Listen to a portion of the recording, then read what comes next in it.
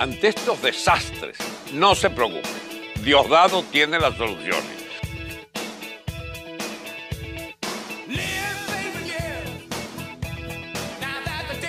Diosdado Cabello dijo la semana pasada que eh, en Primero Justicia estaban dispuestos a ceder el tema de Citgo, o sea, dejar que Citgo fuese controlado otra vez abiertamente por Maduro, para que en específico Enrique Capriles se le quitara el San Benito de inhabilitado, le pusieran otra vez la chapa de candidato oficial, o sea, que puede correr, porque hay todo un tema. Y para eso basta ver el, programa semanal de Diosdado, en lo cual no hace sino hablar, por ejemplo, de, las primarias, parece casi vocero de la oposición, o yo no sé si tienen que darle un puesto en la plataforma unitaria, eso es lo que quizás es lo que quiere realmente su, su corazón, porque no hace sino hablar de eso.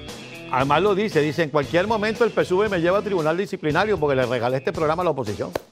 No, porque yo voy a hablar de Diosdado Cabello, que él dice que quiere visitar los Estados Unidos, o por lo menos los países que están haciendo la protección de los recursos económicos venezolanos, porque él dice que se los robaron. Y él está tratando de generar intrigas en la oposición y de generar discordia. Pero que ya las hay, ¿no? Ya, ya, la, ya la oposición en sí misma, dentro de la oposición, hay muchas intrigas y mucha discordia, pero digo, hacerme eco de las cosas que dice Diosdado. El que está impulsando ahora las primarias es Diosdado. Ahora, ¿qué puedo decir yo de las primarias, apartando el, el comentario este, que hace Cabello? Diosdado antes decía que no iba a haber primarias. Uh -huh. Mira que yo también lo veo que no iba a haber primaria. Y yo, y yo soy de las que creo que no va a haber primaria. A mí me da la impresión, por lo que le estoy oyendo a Diosdado, que ahora necesitan las primarias. Ya entiendo por qué en ese programa que pasa los miércoles en el Canal 8 existe una sección que se llama El Escuadrón Caretable. Diosdado Ochepa Cabello, en su programa de chismes de los miércoles, dijo esto. Antes era lo que decía eh, eh, Henry Ramos Ayú, eh, que María Corina tenía el 1%, pero ahora repiten lo mismo que dice Diosdado. Yo creo que el verdadero candidato, mejor dicho, el verdadero jefe de esa oposición es Diosdado Cabello. Diosdado Cabello es uno de los jefes del G4.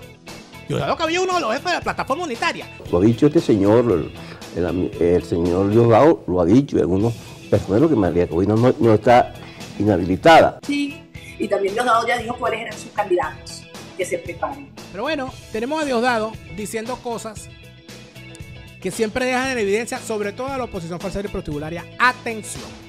Señor Cavernícola, que tiene todos los problemas el miércoles. Exacto. Ojo, yo no lo veo porque no tengo tiempo para eso, pero mi equipo, por supuesto, me pasa el resumen. Diosdado primero decía que no había primarias, ahora, ahora, ahora como que sí les interesan las primarias. A propósito de estas declaraciones que Diosdado Cabello pronuncia en cada una de sus participaciones televisadas, eh, nuevamente Enrique Capriles eh, Radonsky mm, le responde. Todos los días, creo que los, los días hay unas declaraciones siempre, creo que son desde su partido, después también un programa todos los miércoles.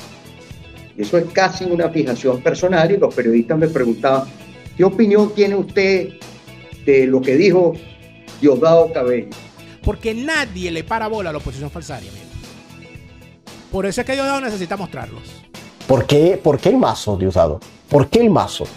En mi condición de presidenta de la Asamblea Nacional de Venezuela. En mi condición de presidente de la República de Venezuela.